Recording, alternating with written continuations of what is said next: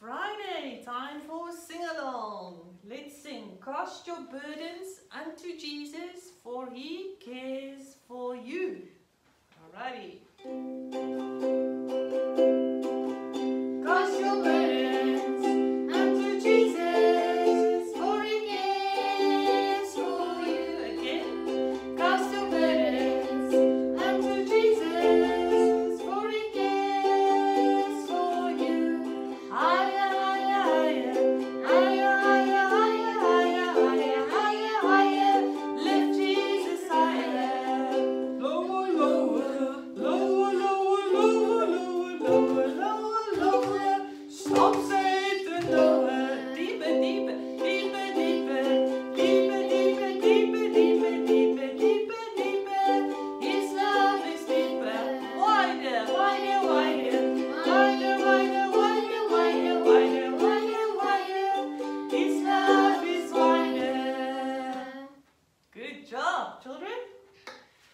So we've got a new song for you today.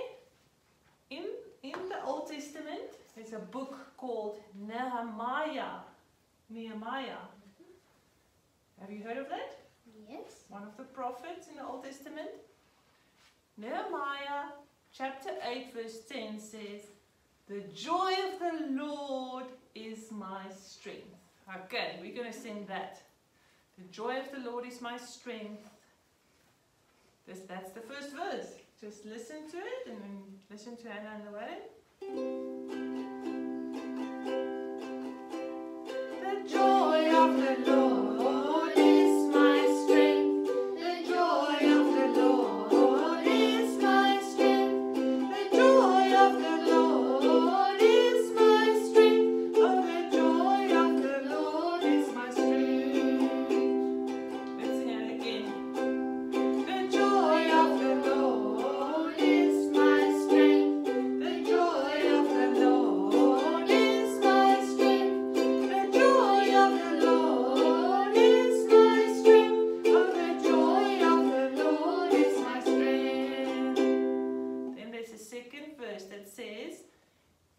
He gives me living water and I thirst no more.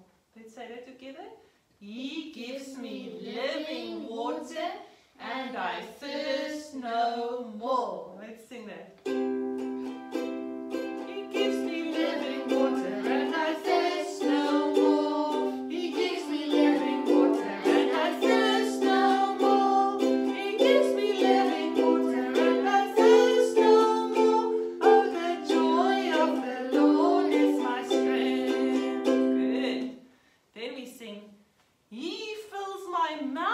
laughter. Ha,